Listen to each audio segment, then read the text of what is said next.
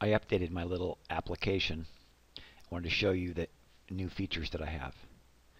So the first one is that these lists are now sortable. Someone help me create a control that does that so I can sort by entity, by network, but more importantly, you can come in here and sort by the commentary. So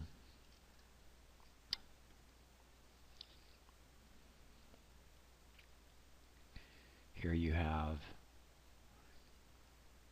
um, a good property plant equipment breakdown, details breakdown. Um,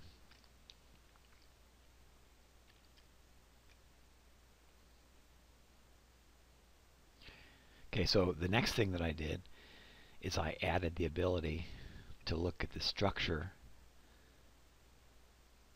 of the XBRL.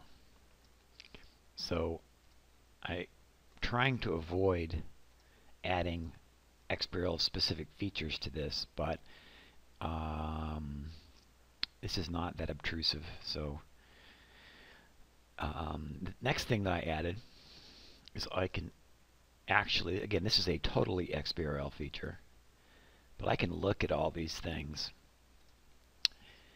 um, with the rendering or the model structure. And again, you have the same ability to click and look at the information. I can view the actual fact table.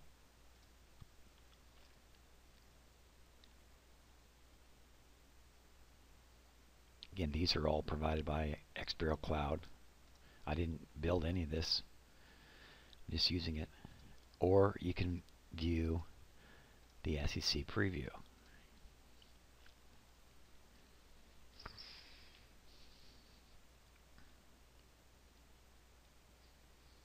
And their little dialogue, which I don't find very helpful. But I want to focus on the renderings. The next thing that I added is the ability to view multiple sets. So here I have loaded a demo set of disclosures. This is my set of disclosures that disclosures that I have reviewed. I click on that, you can watch the progress bar. I've added that, or I actually moved it. Um, and then here is a list of disclosures that is provided in that set. So for example, there's the balance sheet. You click on any of the balance sheets and you will view a balance sheet. Hmm, wonder, oh, there, oh, I see what's going on.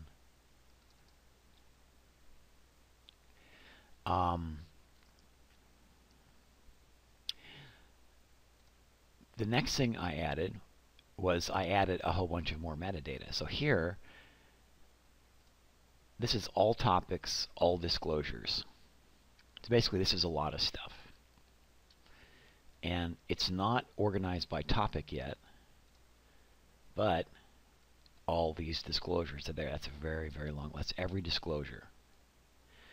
Now, each of these disclosures, it says here, uh, accrued liabilities text block 444. There are 444 disclosures. However, I only added 25 um,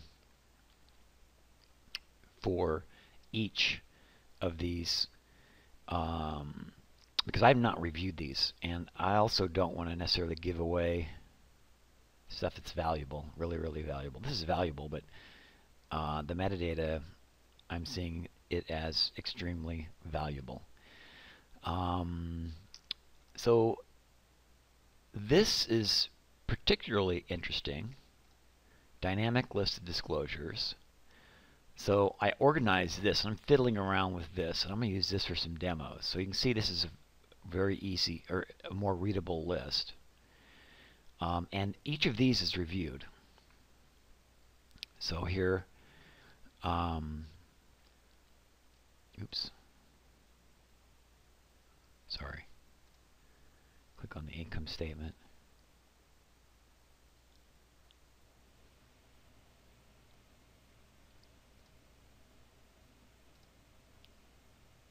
There, okay, I'm not sure what was going. I can't see.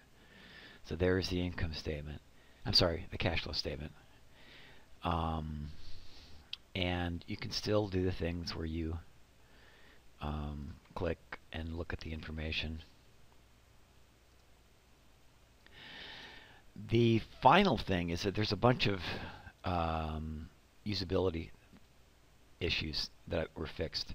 So here this this uh, screen splitter works better and it's just cleaner. I can you can you can maximize and minimize the application, um, and let's just call let's call, let's call that good.